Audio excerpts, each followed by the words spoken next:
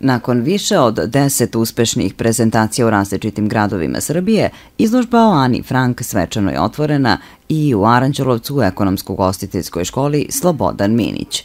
Izložbu je zvanično otvorila direktorka škole Zorica Ćiraković. Zahvaljujem se što ste došli da podržite ovu edukativnu izložbu. Zahvaljujem se i kući Ane Frank iz Holandije, što je ovu izložbu ustupila našem gradu i našoj školi na dve nedelje, kao i društvu Otvorena komunikacija iz Beograda, koje je zaduženo za postavku izložbe i pripremu vršnjačkih edukatora naše škole, posebno gospođicama Ani Janković i Ani Kostadinović. Ovo je trenutak da se prisetimo najtragičnijeg perioda u istoriji čovečanstva, kada je život izgubilo 55 miliona ljudi, uključujući i decu. Tragično svedočanstvo o stradanju jevreja u logorima smrti ostavila nam je Ana Frank, jevrejska devojčica, u svom dnevniku u kome govori o skrivanju, gladovanju, mučenju i beznađu svoje porodice u skloništima i logorima, do odlaska u holokaust i tragične smrti. Prisutnim gostima na otvaranju izložbe o Ani Frank obratila se i zamenica ambasadorke Izraela, Jenny Sedov. Dear respected guests, uh, director of the school, members of the city and the Jewish uh, community. Poštovani gosti, direktori škola, građani i predstavnici jevrejske zajednice. Čast mi je što sam ovde i zahvaljujem na pozivu u ime ambasadorke Izraela koja trenutno nije u Srbiji. Jedinstvena je prilika da budem deo projekta koji je ne samo komemoracija holokaustu i Ani Frank, već takođe pruža priliku deci da budu aktivni učesnici. Uvek kažem da u borbi protiv antisemitizma koji je danas prisutan u mnogim zemljama najbolji i najvažniji način edukacija mladih generacija da nauče i razumeju posledice ovog tragičnog dela istorije koji je uzeo živote oko 6 miliona jevreja samo u Evropi.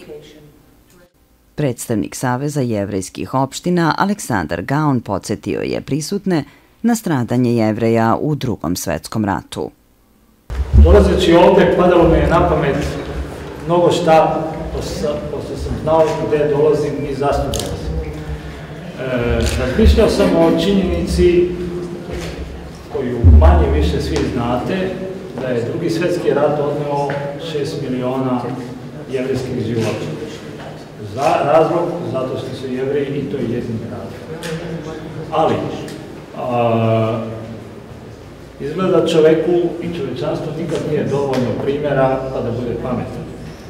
Od tih 6 miliona koji su danas inače u svetu, prema nekim podacima na kojih sam nedavno, nedavno sam pročitao u jednom jevrijskom časopisu, e, ima oko 4 miliona i 600 hiljada, 14 miliona i 600 hiljada jevreja u svetu, koje kuda po svetu.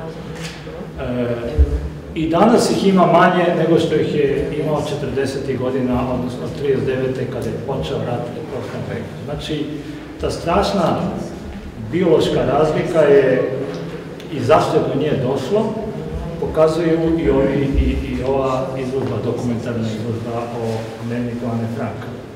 U saradnju otvorene komunikacije sa ekonomsko-ugostiteljskom školom Slobodan Minić, 17 učenika je prošlo pripremni trening za vršnjačke vodiče kroz izložbu koju su vodili sertifikovani treneri otvorene komunikacije. Oni će umesto kustosa kroz postavku sprovoditi zainteresovane grupe učenika u naredne dve nedelje. Sa nama su Ljiljana Marinković i Mališa Đalović. Oni će biti vodiči ove izložbe, a u saradnju otvorene komunikacije sa ekonomsko-gostiteljskom školom Slobodan Minić od danas je otvorena izložba Ana Frank ovde se nalazi u ekonomskoj školi. Svi zainteresovani mladi posetioci mogu kroz ovu izložbu i da se upoznaju sa ličnostima i događajima koje možda ne mogu ni da saznaju iz školskih učbenika. Šta je vaš zadatak vodiča? Naš zadatak je da sve posetioce upoznamo sa istorijom uh, Ane Frank, uopšte sa istorijom koja je zadesila celu Evropu uh, posle Prvog svetskog rata i tokom Drugog svetskog rata. Pored svih uh, činjenica koje znamo i koje ćemo saznati tek od vas ovde, šta je na vas ostavilo poseban utisak? Pa možda ta, ta, taj težak život jedne maltene deteta i njegov tragičan kraj, jer stvarno je strašno to što se desilo, pogotovo nema veze koje nacionalnosti ili koje boje kože ili bilo šta. Dete je dete, nije trebalo nikako tako da na primjer. To je na mene ostavio najjači utisak i veoma mi je krivo zbog toga. Cilj ovakvog načina izlaganja jeste upravo vršnjačka edukacija. Koje su to najčešći izazovi i o čemu najviše razgovarate dok se pripremate za ovakav način izlaganja?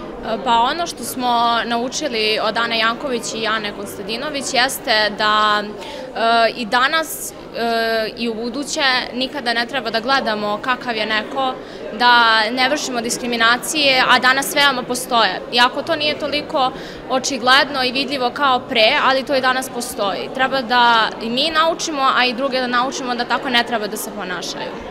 Da li ste se nekad susreli sa nekim vidom diskriminacije i uh, ukoliko do toga dođe, da li sada imate drugačiji metod kako treba reagovati na to? Pa da, susreli smo se dosta puta, što u školi, što na ulici, e, kako se ljudi oblače, kako se ponašaju, koliko novca imaju, to je više nebitno. Svi smo mi isti, ne postoje razlike u nama, znači svi smo mi ljudi, nema, nema neke razlike, sada diskriminišu, nema razloga za to.